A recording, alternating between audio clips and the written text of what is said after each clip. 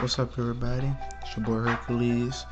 Um, just finished Assassin's Creed 2 for the PC. I mean, I'm sorry, Assassin's Creed 1. Um, overall, it's pretty decent game. Um, yes, it was repetitive, and it was predictable also. After like the third, after like the third mission, I kind of figured out what how the ending was going to be. Um, let's see. My favorite thing about the game is the sword fights, the combat system. I mean, between Uncharted 2 and Batman Arkham Asylum, um, Assassin's Creed combat system is up there. Um, I, I, really like it. I like the counter systems, um, you know, just stuff like that, and different animations, which is always a good thing.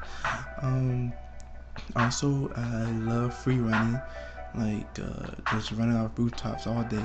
You know, run up the ladders, run up poles. I just love it. But again, it was repetitive. Like um, basically, what you do is you go to your master, find out who you gotta assassinate.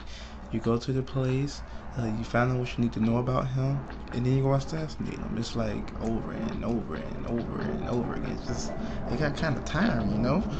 But um you know, even though it was repetitive and predictable, it was still pretty decent, solid game, and I like it. Now, I'm not saying it's a must-have, but if you can rent it for like a good weekend for like two or three bucks, maybe even four, you can. It's well worth it to do that.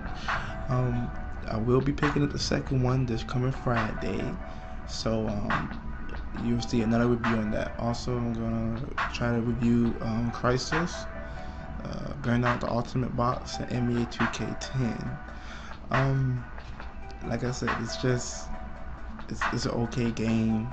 Like I said it's, it's nothing spectacular, you know. Even though it is about going on two years old now, it's about two years old, so it's nothing spectacular. I just I never played it, but I wanted to see what it was about. And I went in, I knew it was repetitive, but it was I still had a fun time.